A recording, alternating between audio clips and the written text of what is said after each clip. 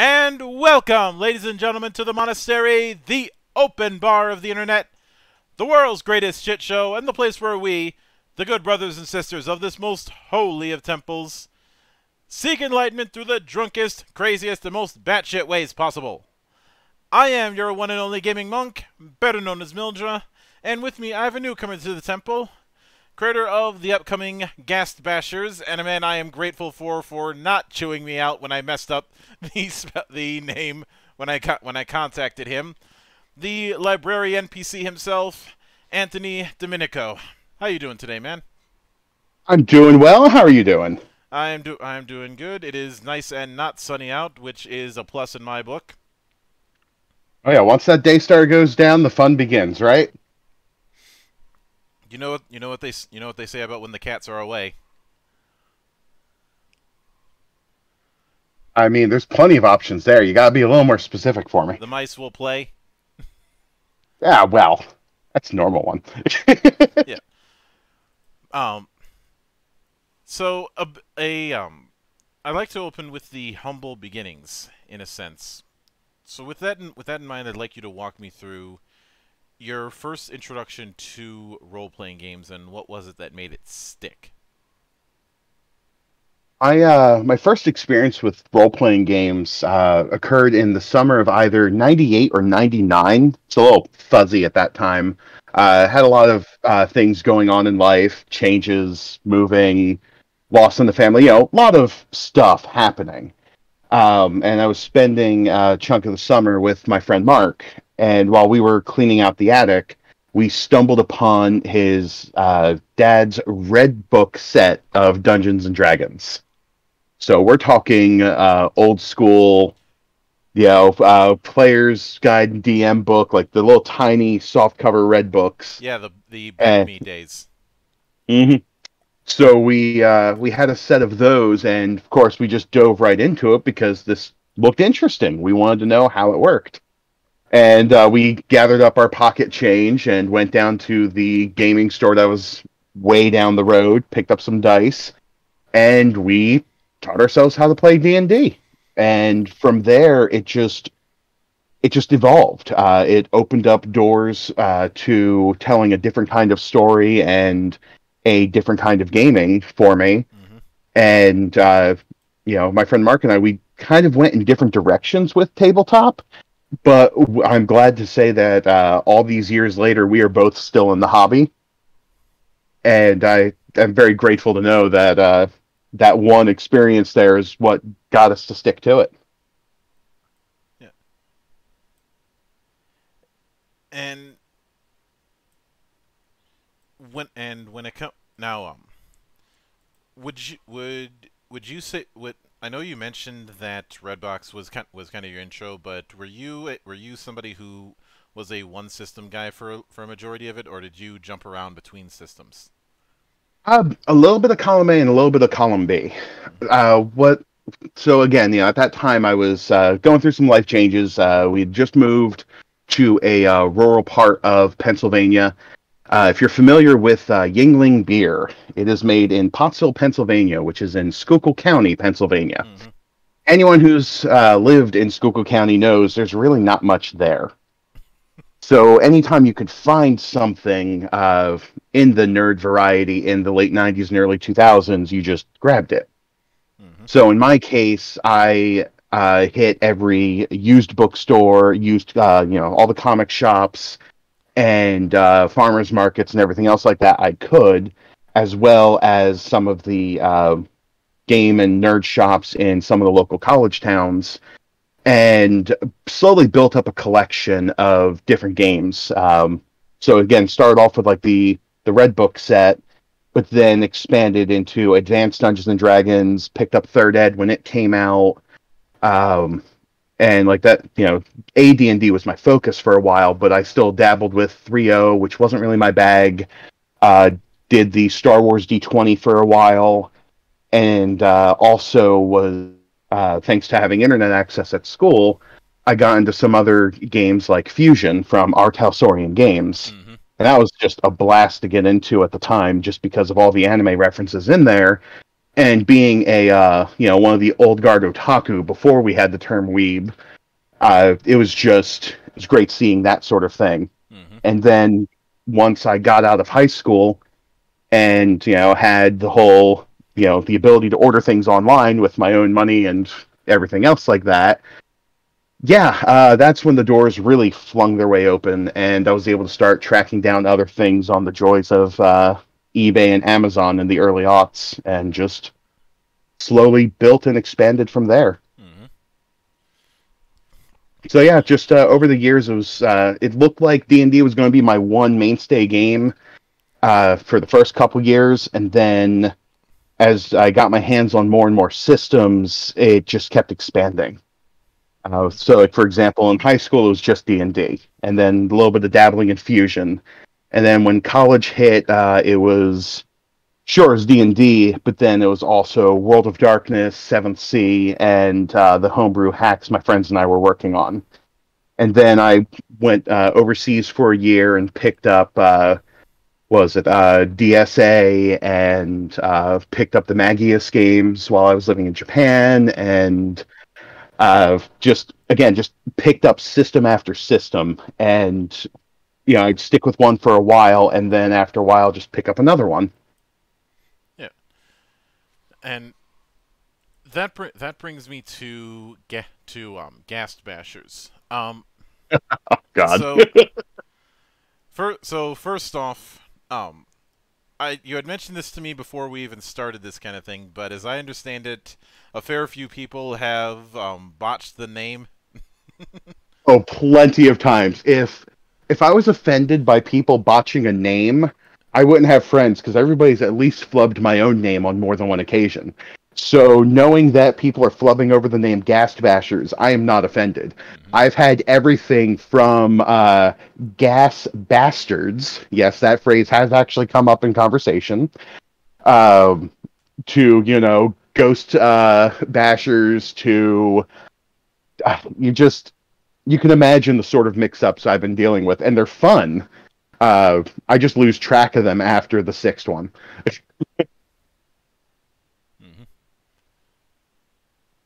So, how did the how did the idea really come about?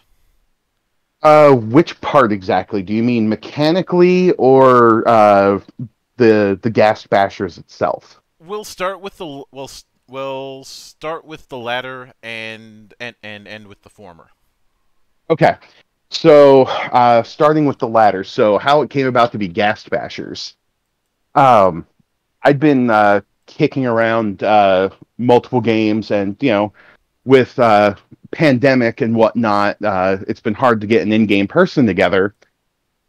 And as I keep tinkering with mechanics, and I just kept hitting a wall with it, I just decided to put my stuff to the side and work on other side projects one of those side projects was putting together a Ghostbusters outfit so I could join the local Ghostbusters costuming group and, you know, do some of the charity work, you know, parades, children's hospitals, that sort of thing. Mm-hmm. And as I'm working on this, having a conversation with a friend of mine in the group, and like, you know, I'm like, it really just bugs me that I'm struggling with trying to come up with something to play or to run or anything else like that because nothing is appealing. I look at my own game that I'm trying to build, like, you know, my fourth one here, and I'm just struggling with what to do with it. And, you know, as we were just soundboarding, she's like, dude, you're building a proton pack right now. Why don't you just make a Ghostbusters costume? Ghostbusters Afterlife, or Ghostbusters inspired game. Ghostbusters Afterlife is coming out later this year. You got the costume ready to go. You're super excited about this. Why not? And then at that moment, Anthony.exe had crashed. I paused for a moment. I rebooted, and the first word out of my mouth was just a, you know, very blunt, fuck. and that's when I realized that all the pieces fell into place. And uh, reached out to a couple friends of mine, specifically uh, Malgi and Nightland, uh, both of whom I've uh, worked with for art for one of my previous games, Mainframe, Mhm. and told them the idea, told them what I needed. They're both on board, and then we got uh, our friend Bonk the uh, Ghast Basher logo within just a couple days, and the game just evolved from there. Um, at first, I was just going to do a limited, you know, just a quiet release on itch, but then we started getting more art ideas, and then more discussion, and then we got the idea of let's turn this into a patch, and then let's do this other side thing, and Maugi can make dice, so why don't we make some dice for this? And I said, you know, what? we have the, the makings of a Kickstarter. Let's do this and get some extra art. Mm-hmm. So that's how we got to the Kickstarter, and that's how we settled on Ghast Bashers itself. Yeah. So that that's how we reached the conclusion. Mm-hmm. You know, kind of anticlimactic when you think about the mechanics, which I've been kicking around for about 15 years. Uh, so what happened here with the mechanical side, like every other tabletop gamer, homebrewing is a way of life. You pick up a game, you play it. There's certain things you love, and then there's parts you just absolutely hate. You love the way how game A handles this, but you love the way game B handles this other aspect better. How can you put them together? Mm-hmm. So you start hacking bits of parts of games, put them together, get a Franken game. Sometimes it falls apart, but it's at least a fun experience. This evolved over years, and uh, I spent a year living in Nara, Japan from 2005 to 2006. Lived with some uh, people in the international student dorms.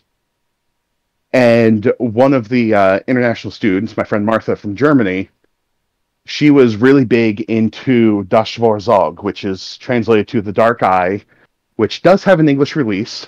Um, and it's we jokingly call it Germany's answer to D&D.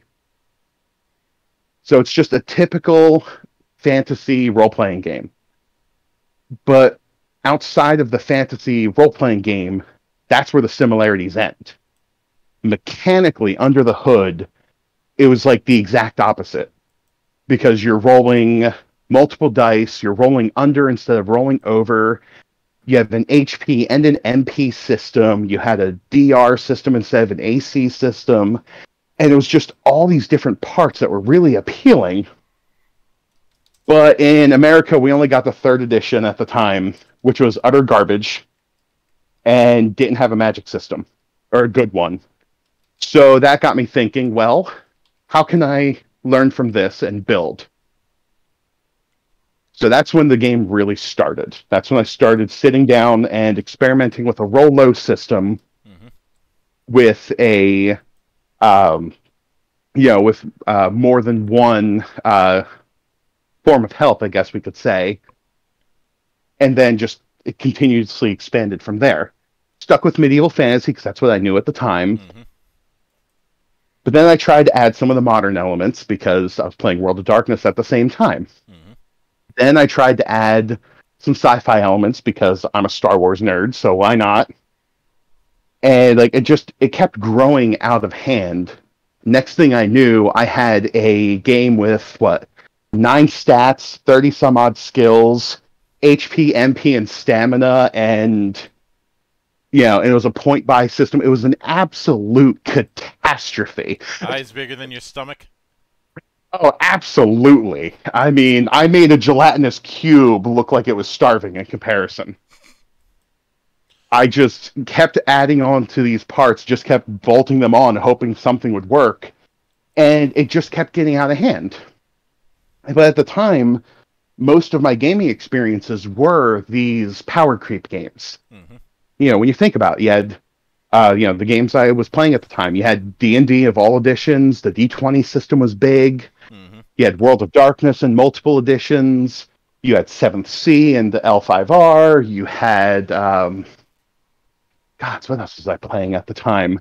Like I had just read my first version of uh, Fudge at that time, which I didn't really get at that point, and just it was just all over the place. There was just this power creep, and I just basically caused my own Well, you also mentioned Fuzion, which it which is um huge which power is, creep. which is cr- which is um crunchier than a crunch bar.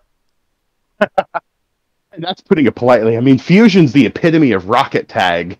And the thing I learned from Fuzion is don't do rocket tag. Um, And And I made sure- rocket jumping. Do that. Oh yeah, absolutely rocket jump. Just don't rocket tag because you know first person get the headshot wins is not a fun game mechanic unless your game is literally called rocket tag. Mhm. But I digress. the point still stands. All these games I had access to and I was playing and I was reading and studying from were all these power creep numbers keep going up games. Yeah, a lot of them just had very linear progressions and just it got out of hand. So what I was building emulated all of that. And looking back on it all these years later, it really emulated the worst parts of everything instead of the best. Mhm. But every couple years, I'd pick it back up. So I'd pick up new games. You know, I got into uh, the Fate system because of the Dresden Files uh, role playing game that came out. Mhm. I got into Cortex because of Marvel Heroic role playing. I got into um the Genesys system because of the uh, Star Wars role playing game from Fantasy Flight. Mhm. And I did some playtesting for them for a while, so I really got to see some under the hood, how mechanics are built and how they function and whatnot. So when you stare at a game that long, you learn something. and then you know expanded into other games like Cypher and uh, um, Powered by the Apocalypse, and just started uh, backing more stuff on Kickstarter. When I started doing more game reviews, like you just see how it just keeps expanding, and I started seeing more narrative-driven games. Once I realized that you could find a, a balance between narrative crunch or narrative elements and uh, mathematical crunch, that became my new goal. Mhm. So I started removing all this extra fluff.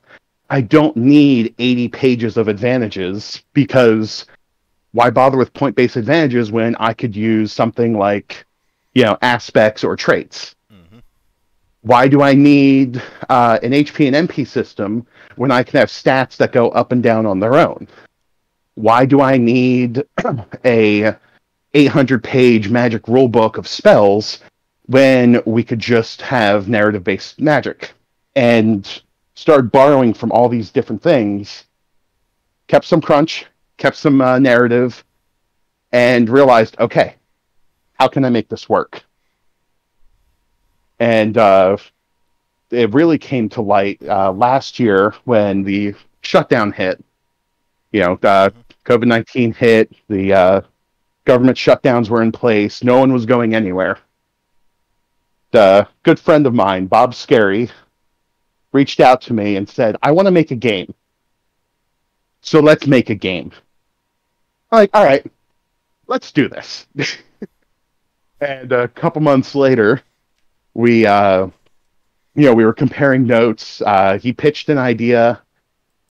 Uh, I went digging through my decades of failed projects, pulled parts of what matched what he was looking for uh, used some stuff he really wanted in the game, and then we somehow pieced all of the goals together into something that worked, which is how we got to uh, Niche, which is the core system for Prisma Paladins, powered by the Apocalypse adjacent in the sense that it's a 2d6 plus mods.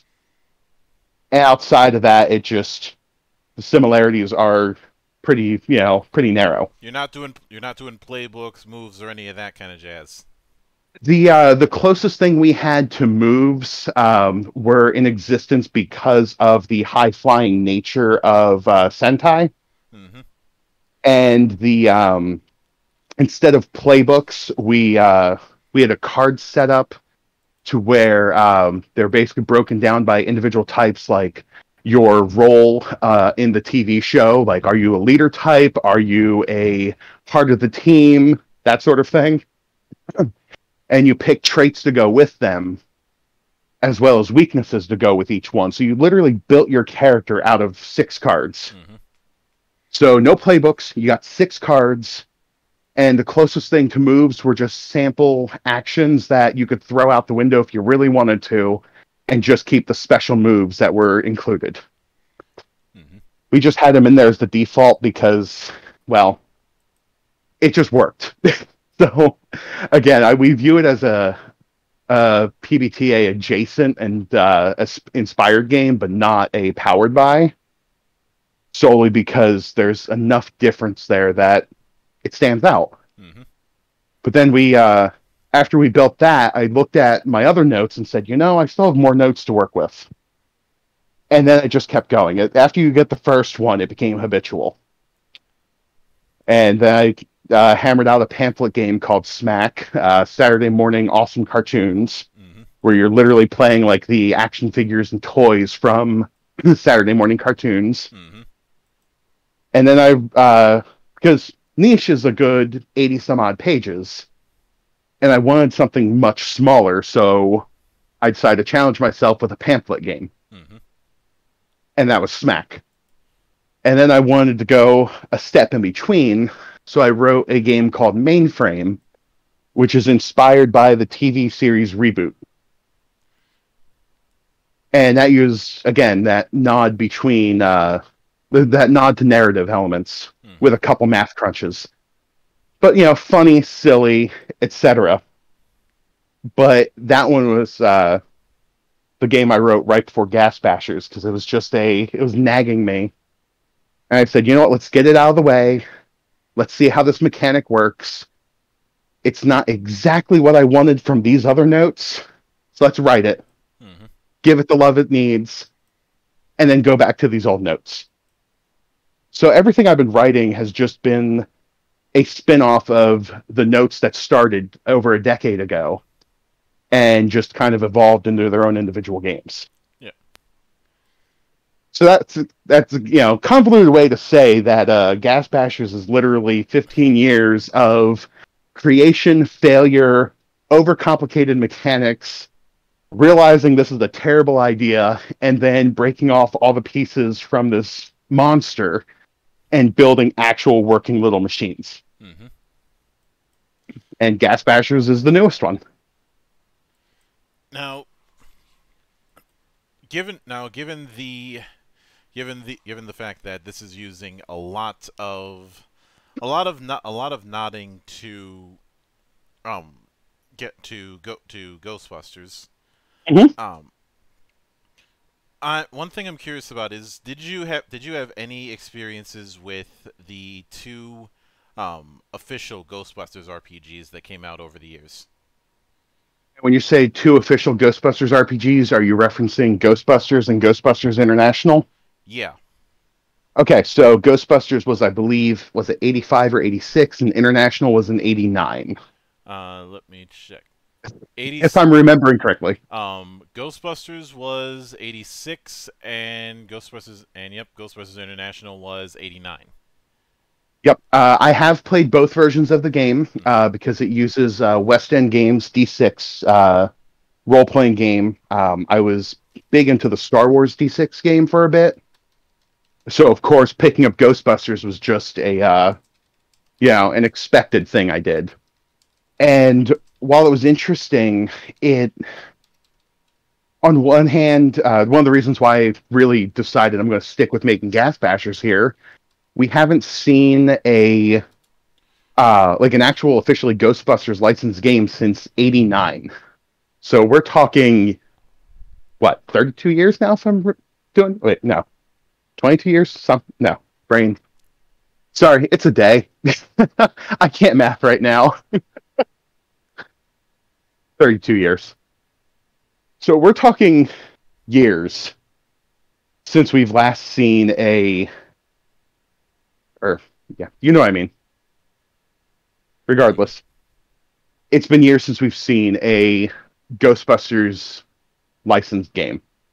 We've seen some Ghostbusters inspired games like InSpectres, um, and if you are considering SCP as a Ghostbusters inspired resource, there's plenty of that. Inclu- including the including the full-on RPG that um that Mhm. that came out not too long ago. And full disclosure, I've had the guy behind that on the show. Yep. Um, I've actually uh, seen him on uh, a couple Q and A's that I've also taken part of, and seems like a decent enough person. mhm. I'm really interested in the project personally. Um, Uh, but yeah, it's just one of those. I I've played it, I enjoyed it. It just didn't I would like. And since we have all these other years of gaming tech under our belts, Mhm. I thought it was time for something different. Yeah. And you know, again with uh you know, Ghostbusters is just one of the elements inspired that is inspiring Ghast Bashers because the uh, Ghast Bashers are just one uh, just one part of what's you know in store in the rulebook. hmm Now, give the big re- the big reason that I wanted to ask on that is from what from what I saw of the quick start and the, the way the sheets are set up, I get far more of a vibe of um, of international than um, than frightfully cheerful. Mhm.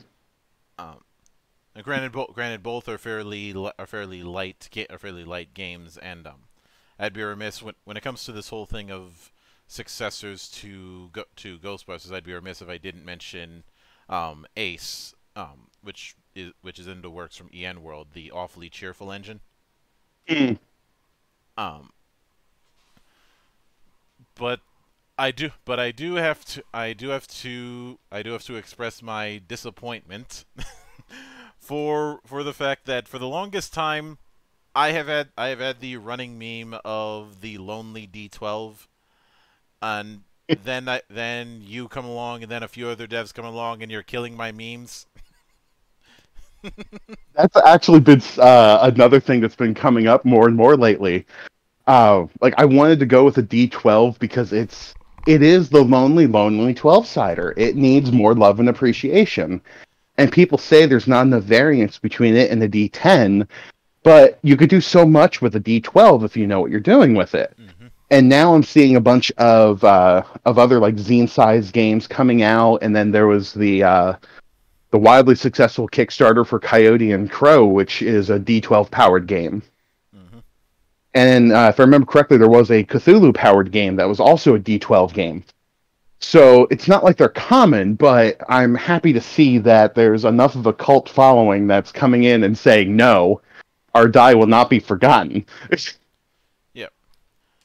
Um, but when, but, and of course, of course, um, I'd be remiss if I didn't, if when it comes to the whole D12 thing, I didn't, I didn't mention the the um, stuff, stuff like Blade of the Iron Throne using it. Although that's far on the other end of the cr- of the crunchy spectrum compared to what you're doing, um, Mhm. largely by design. Um, but when it comes, but when it comes to when it comes to when it comes to the game. Now, as, as I understand it, since it's vi- it's very much a zine-based game, um, or as a zine st- a zine style game, I'll say. Not there's not really a basis for z- for zines aside aside Mhm. from Zine Quest, but we're out of season for that. Yeah. Um, you're sh- you're uh, as I understand it, you're going you're going for a si- a simple um, a simple approach with a lot of with a lot possibly with a bunch of optionals built around built around that. Is that accurate? That's pretty close to the mark, yeah. Oh, Uh, the uh, what I'm trying to do with this is I have the core mechanic in place, which covers uh, less than half the book, hmm and then the rest of the book I've dedicated to a section of the book is just going to be the in-game lore, sample bestiary, you know, that sort of uh, situation, which explains uh, how the world of the Ghast Bashers is different from our own world. You know, where the uh, where the timeline split, so to speak uh, you know, how the different organizations such as the Ghast Bashers and BPI and the various sellouts were created, why the supernatural is in existence, that sort of thing. hmm Explain all that, and then have a uh, GM section to go over the basics of not only how to run a game, but talk about the different kinds of comedy horror, offer up some sample options of you know uh, materials that you should be watching or reading for you know ideas and uh, you know campaign info that sort of thing. But i wanted to provide a toolbox just as much as an actual game. Hmm because i'm one of those people that i'm not going to hand you something and say this is the only way it can run. I want you to take whatever i hand you and do whatever you want with it. I already have people telling me they would love to take the core mechanic and run Stranger Things or the uh, what was it the Magnus Archives is another big one that people have been talking about with it. Uh, another friend of mine said they could probably use it for Supernatural because of the way I'm handling investigation. And one of the core mechanics that I put into the game is a town clock element that I originally pulled from a failed kaiju game I was writing. Mm-hmm. So there's it's a toolbox. It's a complete game that you can literally take and go, okay, what's an adjacent theme that I can use with this? And off you go. So I'm trying. That's why I'm still leaving it as a zine instead of a full rule book. I want it to be that line between a toolbox and a complete game. Mm-hmm. Now, within that D12 system, as as I understand it, the way you have it working is you roll you roll in your skill determines how many D12 you roll, and mm-hmm. your attribute determines the number that you're trying to shoot under. Correct. Um, are there any are there any spe- are there any special effects that happen when rolling ones or um, twelves? Uh, it's one of those uh, yes and no sort of situations. Mm-hmm. Uh, we do have uh, a couple notes for uh, different types of crits, namely if it's a one or if it's uh, a roll equal to your skill rating.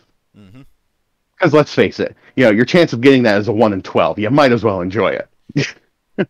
Yeah, and get, uh, getting, a one on a D12 is a 8.3% chance. But the thing is, though, you're still banking on an entire pool, mm-hmm. and you also need to have multiple successes to actually succeed. Yeah. Considering the fact you need a bare minimum of two successes to have a baseline without any repercussions, and that's if you are not dealing with something that you really shouldn't be screwing with. And let's face it, if you're hunting supernatural creatures, you're probably dealing with stuff that you shouldn't be screwing with on a regular basis. Mm-hmm. So the the difficulty sliding scale, where getting extra successes for rolling a one, is usually going to come in uh, your favor more often than not. So that way you're not totally suffering.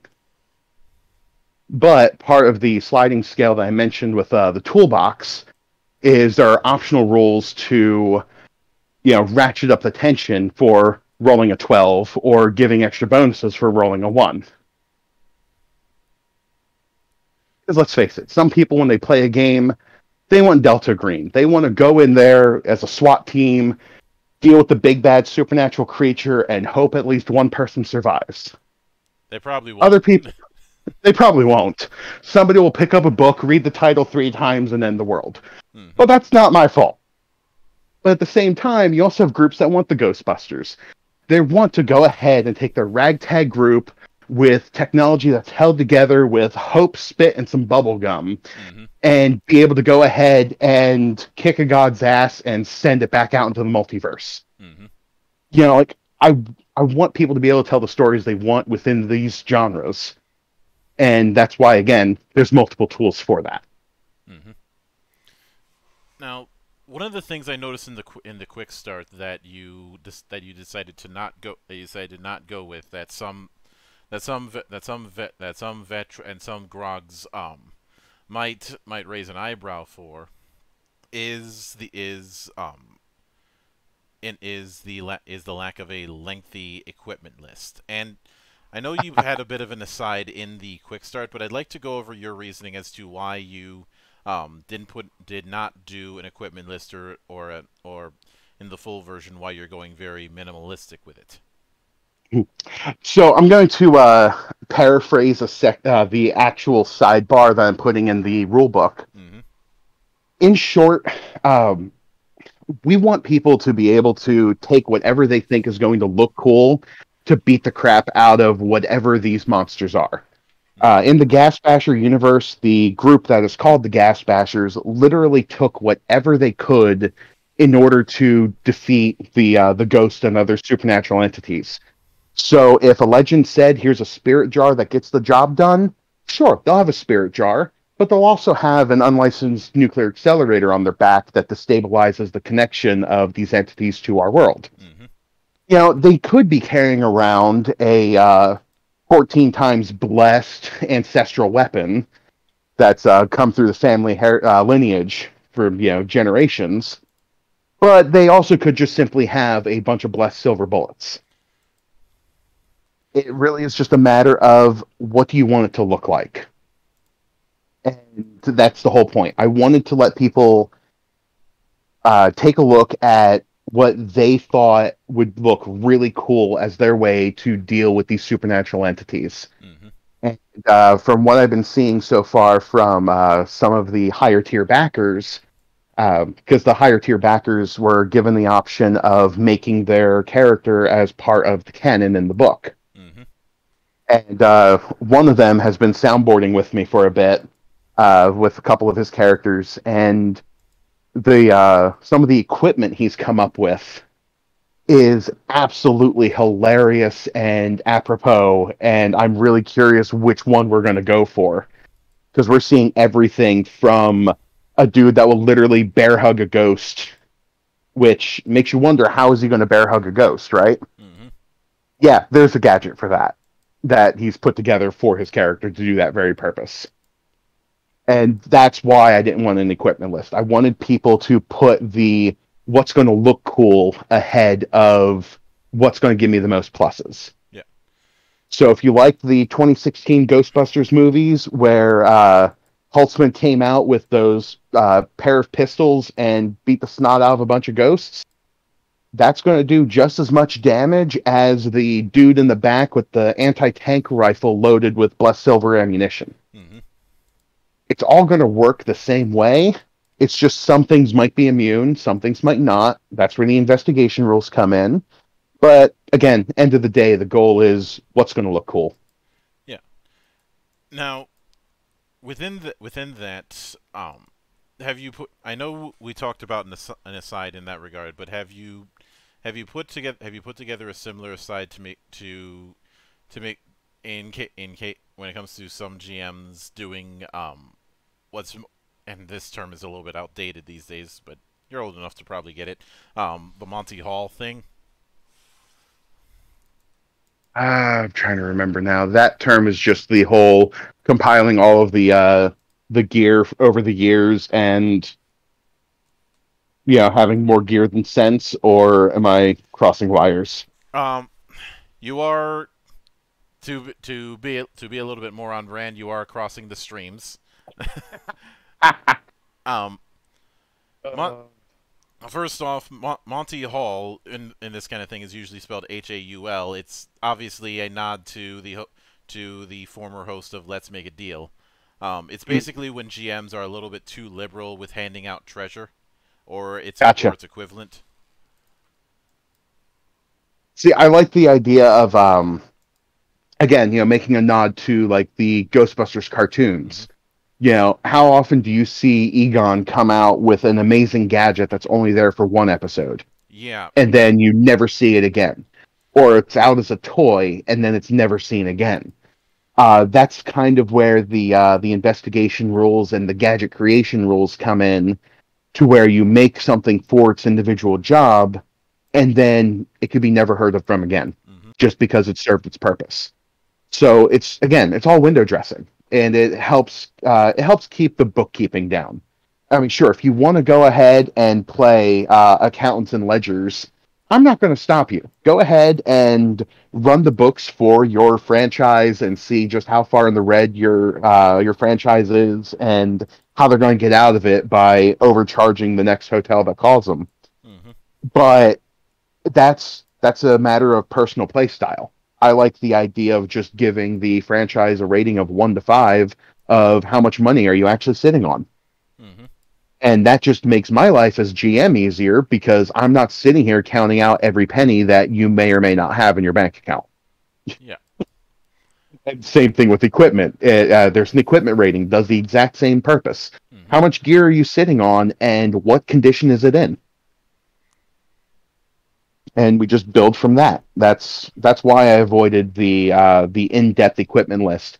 I'd have an entire book of just an equipment list, and at that point, you'd be paying for half a book of gear. And where's the point in that? Where's the fun in that? hmm know, if I'm going to go ahead and charge money for a book, I'd rather give you some fun content and not just tables. But that's just my personal opinion on value for your dollar. Um, but I th- uh, given given the name given the name, um, have you ha- have um, what has been what has been your experience playtesting with pe- with people who have a bit more gen- genre savviness regard regarding go- regarding Ghostbusters and and the and the assumption that a Ghast Bashers um, um, session would be operating under similar rules with the ghosts. So I haven't done too much uh, with ghast bashers as like as the ghast bashers hmm because I've been tinkering with the mechanic under multiple other guises over the years. So I have the mechanical sound. I know the mechanics are sound. It's just the setting is something that I've been uh, teasing out to people and didn't test for years the same way.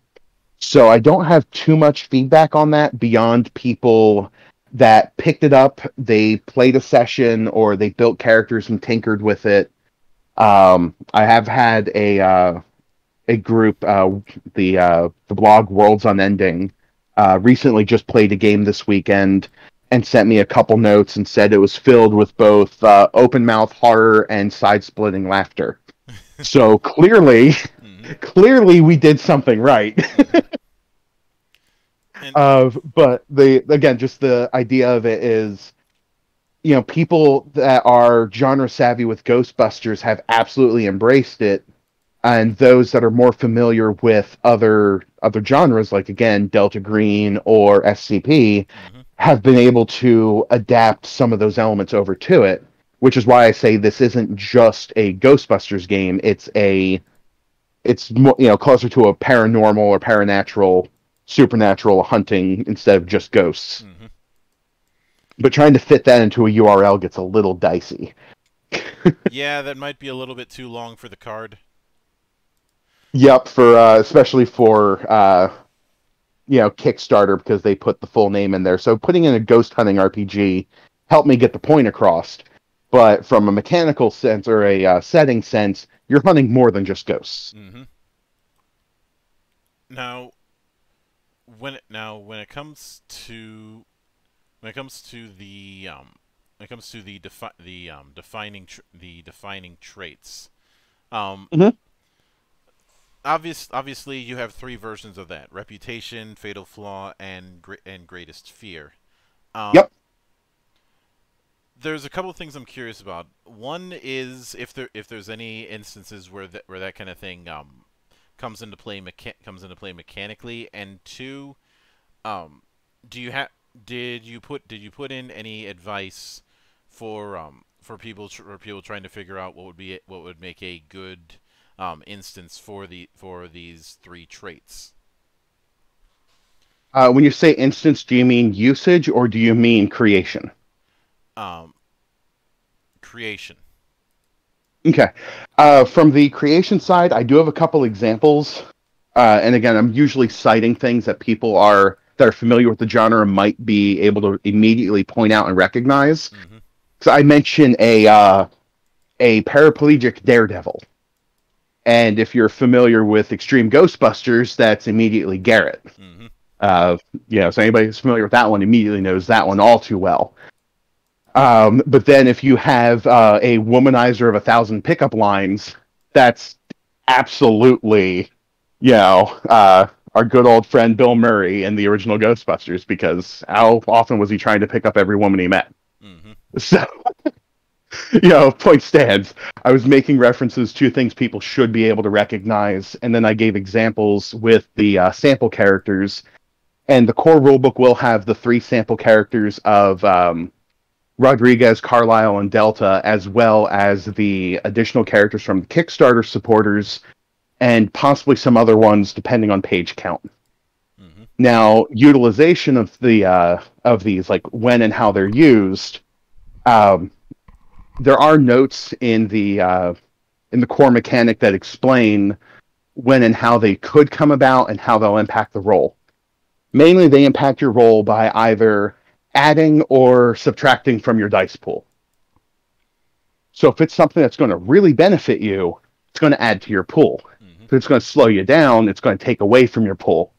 So instead of having that sliding scale of additional successes or um, you know instead of making it harder i should say in the success category it makes it harder in the rolling category because it really takes away how many dice you're rolling. Hmm or it adds to the number of dice you're rolling.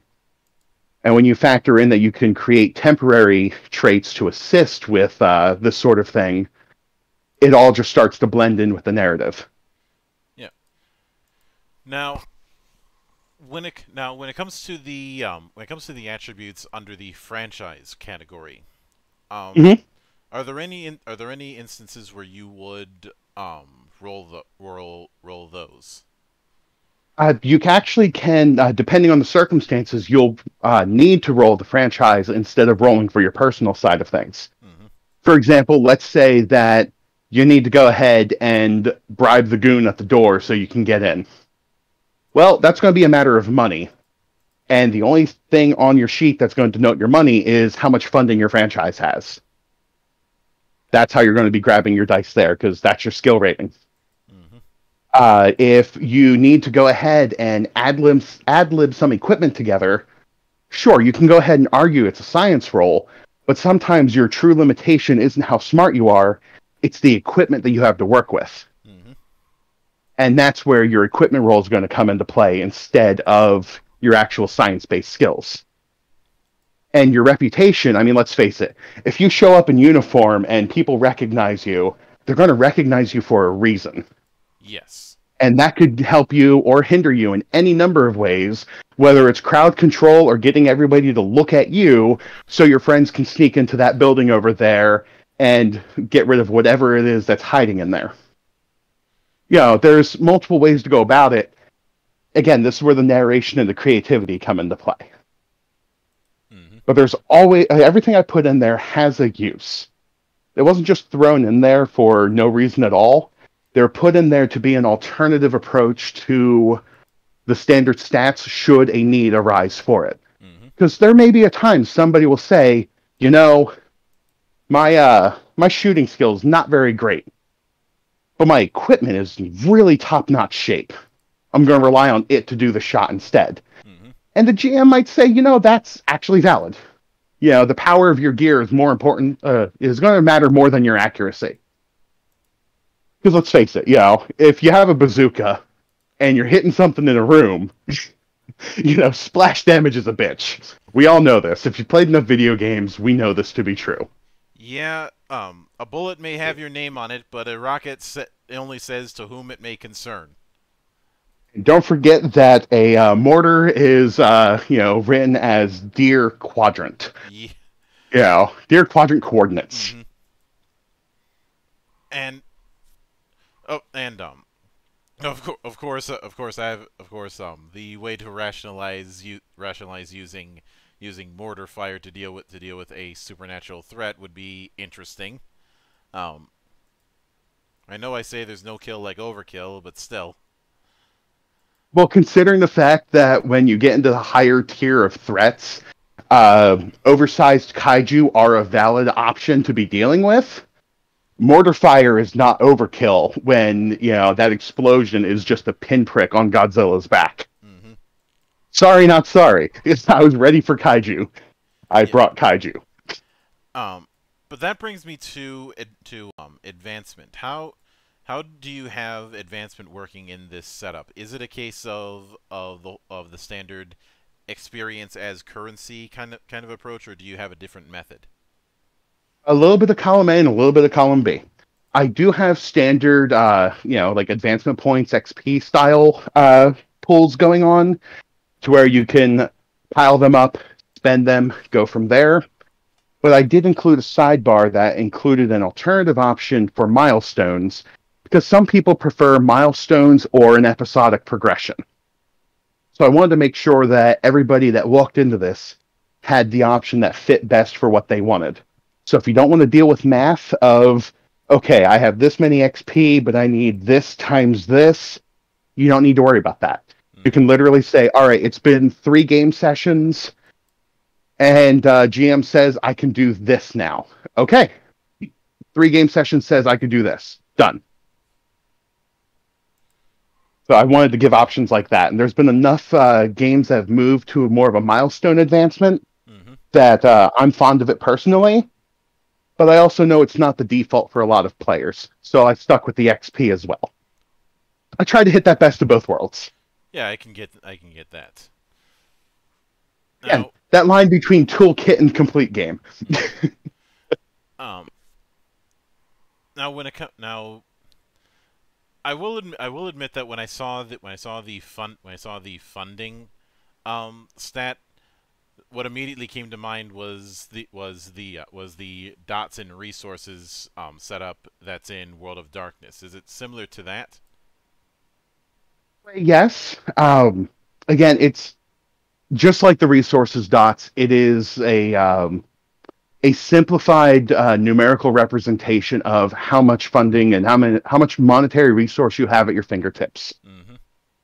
So, again, since it's usually rated like one to five, you know, a one is going to be you're barely getting by. You know, uh, your building's in disrepair. You're probably not going to be affording too much. Uh, while your higher levels are going to be, you know, much better off. You know, could probably buy out a small island for their headquarters if they really want to, just flush with funds. Mm-hmm. So yeah, that's how it's a nod, but it's again just simply more of just a simpler way of handling money instead of how many dollars am I carrying. All right. And since since there is a nod for um, how to make the game more of an international to actually set up a Ghast Basher franchise in another country, mm-hmm. totally easier to uh, to have a simple system like that instead of how much money are you carrying. Yeah. Now, I want to go. I want to delve a little bit into into the lore end of the equation. Yeah. And Always fun. Try me. I'll I'll start I'll start with the is so given the fact that we're we're still dealing with a a largely contemporary setting, is it a Mhm. case where oh, where um where ghost hunting has been around in one form or another for gen- for generations, or was there was it a case where there was some some sort of accident that ha- some sort of accident or some kind of um, shit hitting the fan moment in the in the recent past that um thr- that thrust this that thrust the whole paranormal thing into a bigger light than it was in the past. So this is where we get that little bit of column A, little bit of column B. hmm There have always been ghost stories. You know, there's always been Loch Ness monster sightings or Bigfoot sightings, or you know, some sort of horror story involving a creature that you will never utter the name of for fear you will get its attention. hmm And those are all global global stories. You pick up any book on folklore and you will find dozens of these ghost stories. hmm you know, common cryptids, the works. There's there's ghost stories throughout you know throughout history, throughout time.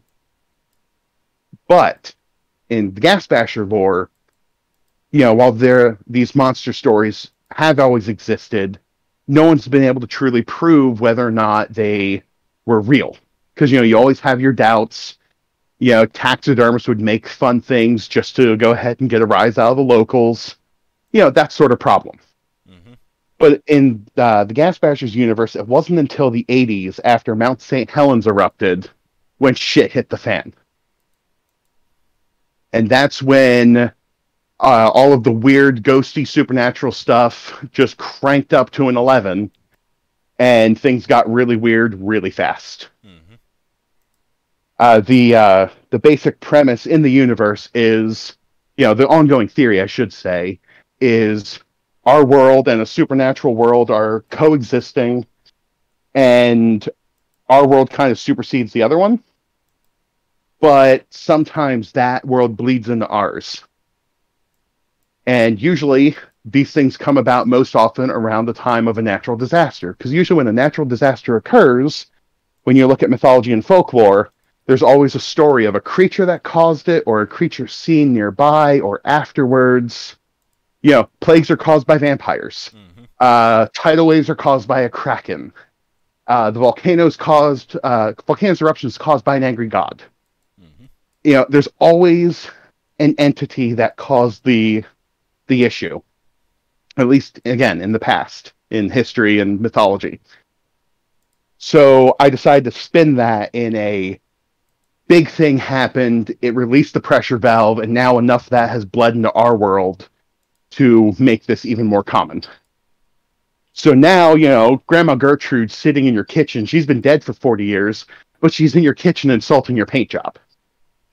You know, Bigfoot sightings are far more common than they've ever been. And uh, let's just not talk about the tentacles that are coming out of your sink. and that's when the ghast bashers came about. Um, I basically they started out in the U.S. because you had ballooning military spending and Cold War uh, scare and everything else like that. So you got these bunch of uh, let's just politely call them uh, eccentric individuals that decided to study the uh, supernatural and how it's impacting our world. They wanted to find a way to uh, dissipate or contain these things. So they took, uh, you know, government military spending, weaponized some things, and decided, let's go monster hunting. Mm-hmm. And the reason why it was done in the U.S. is because, let's face it, you know, we have some of the most lax weapon laws in the world. So of course, let's give a bunch of bozos the weapons, or uh, the money to make weapons, right? Because mm-hmm. America. That's. I had to do the tongue in cheek. It was there. Yeah. So, and I have a full section on that, like with the uh, the nod for our international readers that this isn't some American white savior joke. This is literally a. I'm poking fun at uh, America's gun laws and military uh, ballooning military spending because let's face it, when you look at the history of the 80s, it was pretty crazy. Mm-hmm. So you take that, they found a way to actually hunt down these entities and decide they're going to make bank on it. And uh, that's what they did. That's when uh, the Ghast Bashers came to, uh, to actually be a entity that was setting up franchises around the U.S. And thanks to U.S. Uh, government interference and the creation of the Bureau of Paranormal Investigation, or inspection. Sorry, Bureau of Paranormal Inspection. Mm-hmm. You know, those two combined, you now have a government uh, body that does things. You have a uh, privately owned body that does these things, and they're kind of at odds with each other. Set up, you know, elsewhere in the world as well, and they're literally all just a bunch of monster hunters out trying to do their own thing. Mm-hmm. Then we hit 2008 so from like the mid 80s to 2008, everybody's making bank on the number of ghosts and supernatural creatures they're hunting down. You know, because everybody's got a ghost somewhere in their attic, right? Well, around 2008, uh, with uh, that string of natural disasters that most of us don't like recalling that occurred in that one single year, the uh, supernatural just stopped. The uh, you know everything that was uh, captured went dormant, and everything that was being hunted just kind of disappeared. And cases were almost non existent and mostly just stopped coming in altogether. So from 2008 through 2020, nothing had happened with anything supernatural. Ghast basher groups were basically closing up shop. The corporate sellout groups were just moving to R&D with what they had and uh, the government agencies just kind of reallocated. And then 2020 hit, and as we all just witnessed in the year 2020, we had a number of oh so wonderful disasters. And that was our kickstart for the supernatural coming back, and Ghast Bashers uh, picked back up. So now you have these people that are uh, picking up technology that hasn't been used or tested in the last, you know, 10 plus years hoping it still works and gonna go get Grandma Gertrude out of your kitchen and back in the box where she belongs. For whatever for whatever reason, when when you when you mentioned disasters, while it would while it would be it would be very it would be very obvious to go with to go with the Koof as one of those disasters. Um, I'd prob I'd probably go with some I'd probably go with something a little less obvious, but still provides a good amount of potential. That being a period of time last year when a good chunk of the West Coast was literally on fire. Uh huh. 2020 carried a number of big natural disasters. and that is where again the pressure cooker theory came in again um, because 2020 set a lot of records of certain natural disasters and some of those records are greater than the record set in 2008 so it was uh it was interesting to use that uh bit of history as uh as a guy and it's kind of sad to use natural disasters but again utilizing my love of mythology and knowing the number of times that supernatural creatures have been used as the scapegoat of natural disasters, I just thought it was a little too apropos. Mm-hmm. And well, we've we've had um we've had we've we've had fo- we've had folklore characters over over the years be be t- be tied to um be tied to cer- be tied to certain nat- natural events, not necessarily disasters, but just events, like say Paul Bunyan creating the Badlands. Mm-hmm. So the I, the concept is not as far fetched as some as some people would would like to think. Um, Precisely, which is again why I went with it. yeah. Now, the way you the way you describe the way you described it, it's it's it sounds like um when it comes to when it comes to because you because in the in the book in or at least in the uh, Kickstarter page, you talk about three prim three primary organizations when it comes to people who set up Ghast Basher um, franchises. The B mm -hmm. the um, BPI, the old the old guard, and the sellouts. Um, yes. Now, would it be fair of me to say that the BP that the BPI is the is what is one of the more quote unquote organized approaches, but there's the downside of have of having somebody to answer to. It, this is one of those yes but no. Mm-hmm. Um, I'm, you're actually going to be getting a uh, a little bit of a secret that uh, hasn't been announced in any of the other interviews I've done to date. So you've heard it here 1st mm-hmm. The only people that know these tidbits are those that had access to the book as part of playtest. So congratulations. Uh, there's a note of uh, trade secrets in the book regarding each of the three uh, types of organizations, mm-hmm. Uh, what their goals are, and uh, how they are going to impact role playing as well as the story. So you have the original Old Guard Ghast Bashers. These are the people that signed up, whether because they wanted to make money or because they want to do right by their communities to get rid of these supernatural creatures. And they do so by whatever means they need to. They will capture, they will destroy, they will contain, they will clean up, whatever it takes. As long as you're paying them at the end of the day, they're happy. you know, they're, they're, a privately run entity. It's the way it works. Uh, but that's that's the ghast bashers for you. There are our old guard, original group. That's what they do. The BPI, on the other hand, it's very much like every other alphabet soup agency there's a strict hierarchy. You get your orders, you're following your orders. You got people you got to listen to. You're not going to be able to deviate from the mission too often. You got to act within the confines of the law, obviously. Mm-hmm. And the big thing is BPI, nine times out of ten, prefers to destroy supernatural threats instead of capture. Their view is it's a threat and its very existence is a continued threat to you know to uh, civilians as well as government so therefore it should be destroyed and you know since these things are already dead for the most part or you know considered to be animals uh, by other standards that's how they stand on it but if you just so happen to see a group of BPI agents out there with traps, snares, and geared up like a SWAT team, just write it up as a loss, go home, and grab a drink. Because you know, whatever it is they're trying to capture, it means more than your life and your paycheck. So just go home. uh, the the running joke I had with one of my players is, um, you know, what would a what would the military industry complex do if they got their hands on a werewolf and could pull werewolf adrenaline. Mm-hmm. What sort of drugs would they make from that? Uh, what else could they make from any of the other supernatural creatures that you see on a regular basis? You know, what if you pulled uh, the plates off of, you know, a xenomorph, for example? Just Mhm.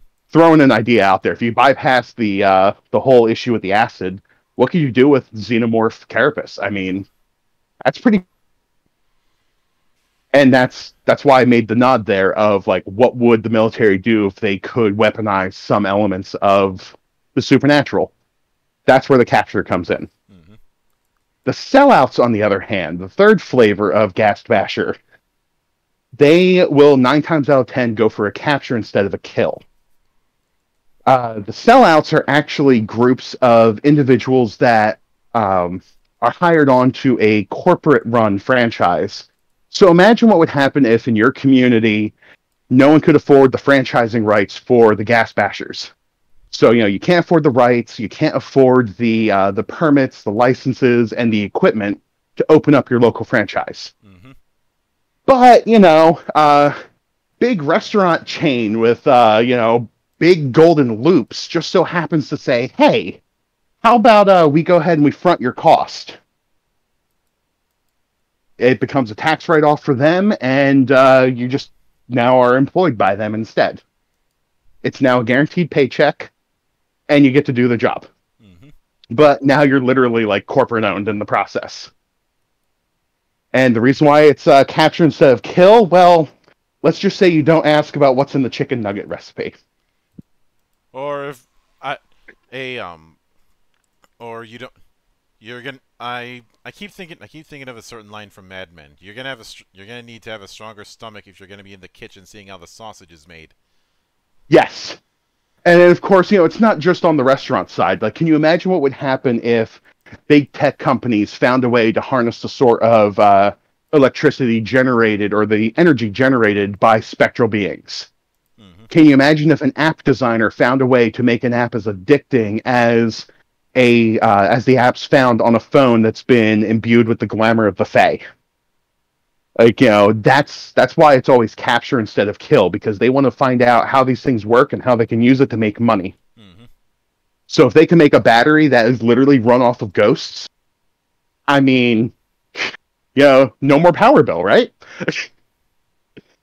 so that's the those are the the you know a gist of the the big secret of the three. You know, uh, each one of those has their goals about how they operate, why they operate, and why they do the job they do. It will impact how you play the game, obviously. hmm And if your gaming table just so happens to have one member from each of those groups, they're going to be butting heads about how the job is going to get handled. And that bring that brings me to one that brings me to one question. In Mhm. this in this kind of in this kind of setting, um, for two things actually. First off, would it be fair of me to say that there's no universal rules when it comes to dealing with supernatural threats? No, no, no, no, um, no, typ- no typical proton pack and and tra- and trap kind of setup. And the other question is is um is um, territory conflict um, a a issue a issue between franchises. Uh, the territory conflict between franchises is more of a plot element than anything, hmm uh, because it would just be an entertaining thing to throw in if uh, it just so happened that the corporate sellouts were getting to your case and bagging your uh, your job before you even got the call. You know, makes you wonder what's going on, right? Uh, or if they just keep making you look bad, like what's going on here? Like that is absolutely story element, and um, is one of those things that I would probably sneak into a uh, a bit of content down the line for one of the expansions I've been already thinking about. Yes, uh, I'm already thinking of expansions because why stop at one? It's habitual. That uh, that and the we've estab- we've established beforehand that one that once the ideas start co- start coming in, um, they don't stop. Exactly. So I'm already planning uh, potential expansions that may just be PDF only, just because of well, you know, the constantly doing print runs gets expensive. hmm So, but again, one of the ideas is talking about specific parts of the world, the things they fight, and like the problems they face in those areas, and some of those problems are butting heads between different organizations. So, you know, can you imagine Silicon Valley where you have all the tech bros each having their own individual corporate run ghast basher group? And then you have the classic ghast bashers and BPI in there as well. Can you imagine how cutthroat that would get? That would make a very hilarious game if you go comedy, or it could be a very dark game if you decide to go dark horror. So yes, valid valid way to play the game. Why not both? that that is also a valid way to go. Uh, now, as for the uh, the silver bullet approach of you know a universal way to deal with everything, it's kind of what the Bashers tried to do by creating the uh, the tech that they did. The idea was to find some way to destabilize the supernatural entity's connection to the physical world so it could then either dissipate back to its plane of existence or be contained in a way that, you know, could be stored somewhere safely. But that doesn't always work. You know, some things you run into are so ancient and so powerful or just so cursed that there's no way to kill it unless you undo the curse that caused it in the first place. Or you may get rid of it, but it'll be back next week because it's a repeating curse on a bloodline or something else like that. Mm-hmm. This is where, uh, again, the investigation rules I built in come into play. Because, sure, you can find the creature, beat the crap out of it, throw it into a uh, trap, and then throw it in a container, and you're good to go. Or so you think. Next day, it's back out again. Why is it back out again? Hmm, I wonder why. And then you continue on. That's where you have to find out why it exists. What is it? What gives it its power? How can you truly put a stop to it? Repeat the process. Now, when it comes now, um, when it comes to, when it comes to that, even though this thing is going to be hundred pages, do you have a few pages set aside for a um, sample bestiary?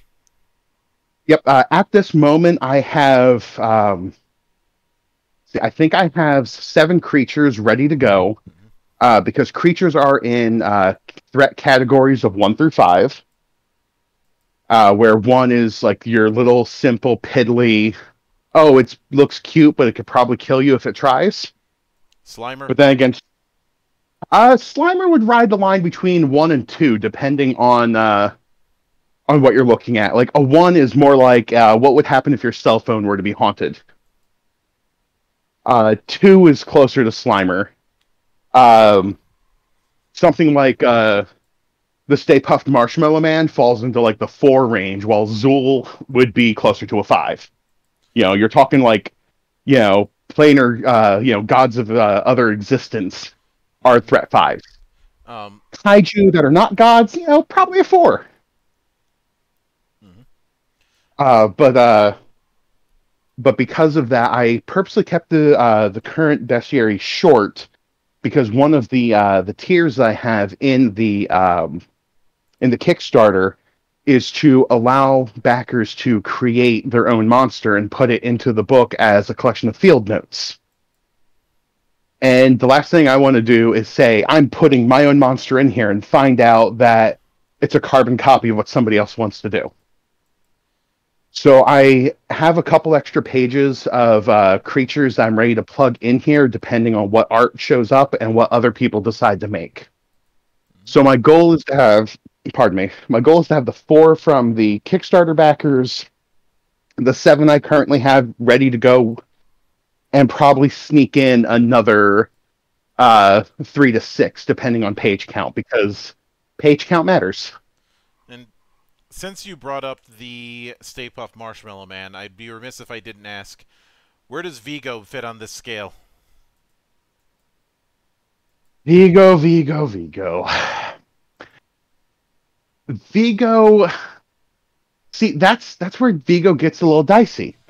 Vigo as a standalone isn't really all that threatening or powerful. Like Vigo is in a way he's powerful and threatening, but it's the stuff around him that's really the higher threat.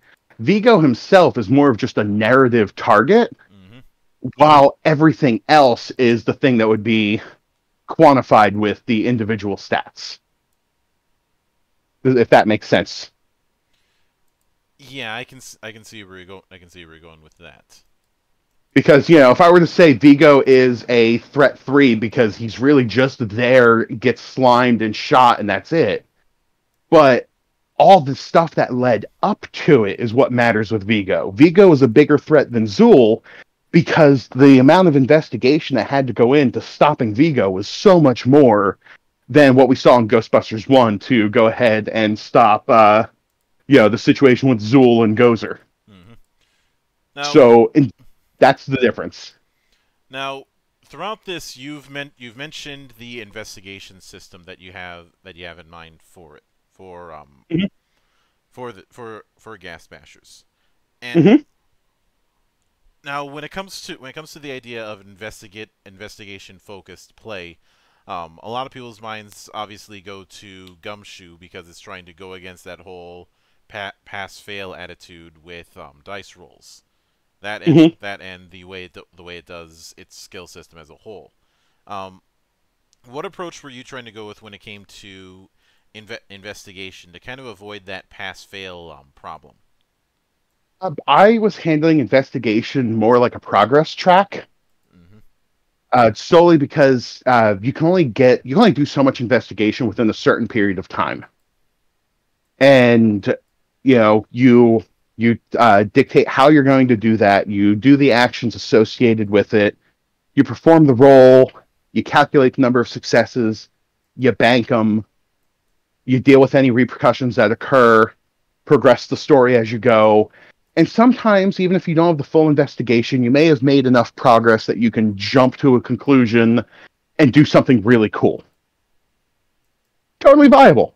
Sometimes you're going to instigate a fight with the big bad and you didn't finish everything, but you still somehow pull ahead. It's going to be hard, but you can still probably do it. But the uh, investigation has a um, has a counter track. So you have the standard track of your investigation track. You have to fill your investigation track to uh, basically create the um, the criteria you need to determine how can I go ahead and defeat this thing.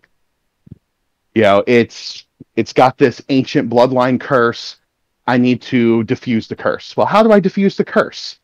Well, to diffuse the curse, I have to find the book. Well, I found the book, but now I have to translate it from Latin, and Latin and I don't get along and you know like that's that's where the narrative comes into play but the mechanic is just a okay you know you're just building up the number of successes to hit the point. But it's not just a go from scene roll scene roll because there's other stuff that's going to happen. Hmm which is where the flip side comes in of the town clock. The town clock mechanic is the one i alluded to that was pulled from the kaiju game i was working on. As the game progresses the clou- the town clock ticks onward. And as it ticks onward, certain things speed it up. So, say for example, if you know you are rolling terribly and you cause a ton of collateral damage trying to deal with a small entity that broke out from your containment unit, you may have just uh, empowered the creature you're trying to stop in the process. You know, you may have just destroyed a node that was keeping it locked away. hmm Insert other narrative here. Town clock progresses, and at the end of each scene, you're rolling a 12 sided die. If you roll under the town clock, something bad happens. That something bad could be anything from a major NPC has been captured or incapacitated. Um, the unstoppable monster makes an attack, and you need to find some way to keep it from getting its next victim. Insert plot hook here. And there's some sample hooks in the book to explain what you can do when the town clock activates. hmm Now, of course, once the clock itself hits 12, that's when uh, the big bad is going to do whatever nasty thing it's been building up for. So if it just so happens that, you know, you're dealing with Cthulhu, well, town clock hit 12, Cthulhu's coming out of the ocean. I hope you're ready. Congratulations, you're all fucked. Or congratulations, you're going to have calamari for the next six months. There is no in between. Only Zuul. Well, I'm pr- well. I'm pretty sure after I'm pretty sure after the end of the first Ghostbusters movie, there was everybody had to deal the um all the local exterminators were probably having a lot of business dealing with all the hornets. Mm-hmm. Yep. So yeah, that's the uh, that's the madness there. Mhm. So that's why it's a uh, it's kind of a twofold thing. You know, on one hand you have the um, the ongoing investigation. On the other hand, you have a counter investigation in the form of the town clock ticking down. You can do things to slow it down, but again, it's a it's this back and forth of what's happening, what are you doing to uh, act against it, and what is the entity doing to progress its own needs. Hmm and who knows what's going to happen. You know, there's uh, some sliding tools in there for GMs, of course, uh, if they don't feel like rolling every scene and just simply say, you know, it's not going to tick this scene because this is just really cool and I really like what you did, or it is going to tick this scene, but you know, X Y Z reasons are going to occur. There's, I, I'm again trying to give that toolbox so people can get the right feel even just session to session. hmm And when when I looked at when I looked at the section regarding combat, Mhm. one thing that that certainly stood out to me is the f- is the fact that co- is the fact that combat um when it comes to dealing with damage instead of providing a dedicated damage track whether that whether that be wounds whether that be hit whether that be hit points whether that be marks what ha- what have you instead you had it that damage goes straight to attributes which in Yep. a weird in a weird roundabout way reminded me of the behemoth that is traveller um God. Oh, I hadn't even thought of that. I haven't read Traveller in years. I, ju- I, I may it may be recency bias for for me thinking that because I just did a review of the uh, Mongoose Second Edition Traveller a few weeks ago. Okay. But when it but what I'm curious about is what what um what led you to taking that route? So one of the um, again, uh, been tinkering with a lot of mechanics, and um, there are two uh, two things that inspired this. Uh, one of them was um, the cypher system, Mhm. uh, mainly that you can spend your attributes to uh, you know increase your chances of success. Uh, but of course, your attributes are also going to be your hit points. So it's your you know your get out of jail free pool as well as your I'm going to stay alive pool. And I really liked that mechanic, and uh, that was one of the inspirations behind it. But I also needed a way to really make combat have teeth, to be more than just a well, I roll, I added my bonuses, do I hit? Now it's a okay, well, now I have to plan carefully because if I fail, I get hurt and getting hurt means it's going to be harder for me to do my next task. Mm-hmm. It also means that it's not always going to be a game of I shoot it. Sometimes it becomes a well, I'm I'm so hurt physically, there's no way I'm going to shoot it. How can I outthink my way through this? And now you can utilize a different stat instead. And still potentially get the job done. And that's it's just the idea of there's a certain diminished return going on here where you know you're taking the risk, it's wearing you out, and there's the possibility that you're gonna have to get creative with an alternative way besides focusing on just one way to solve a problem. Well, And that's one that's why I did it. yep. Well, there's more than one way to skin a cat. Ah, you say that as my cat jumps in my lap. See this. The best part is I did not plan for that. Nope. I don't know if that. I don't know if I should be impressed or horrified. A little bit of both. Uh, my cat here, that seems to be Babble, the is theme, that seems to be the theme tonight of a little bit of both. Yup, both, both, both, Both both, is is good. Jinx. yup. If I'm in, if, Uh. I'm in, if I'm in, if I'm in your area, you owe me a drink.